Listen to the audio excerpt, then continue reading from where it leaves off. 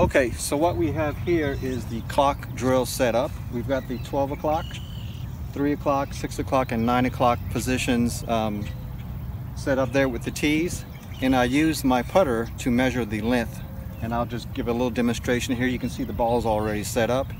And then I'm going to go ahead and put around just show you uh, basically how you want to do this.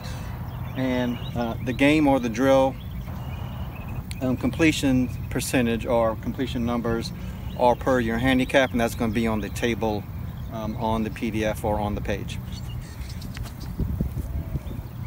So basically you just stick your putter in here, boom, that's one tee.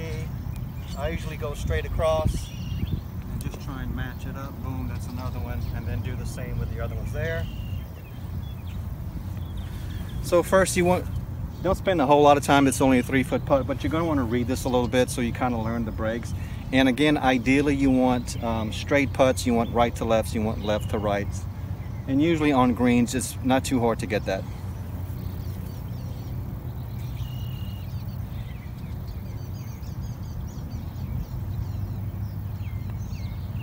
Okay, on to the next one.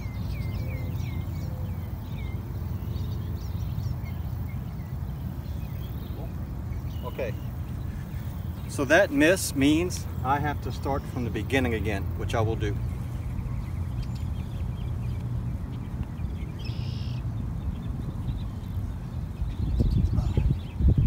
Uh, so my intention here is to go at least one time around without missing.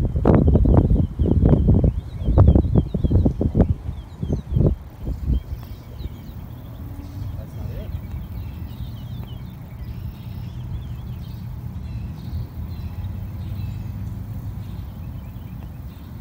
There he goes.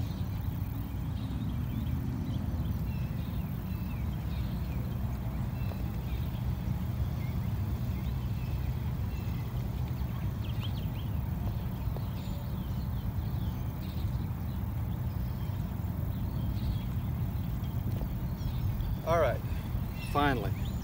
So there's my once around. Um, tour plays are expected to go around 10 times without missing. I think I've done that once.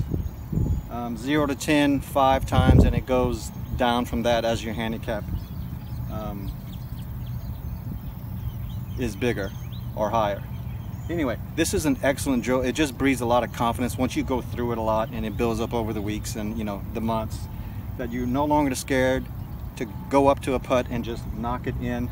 You have a lot of confidence. And uh, anyway, that is the clock drill.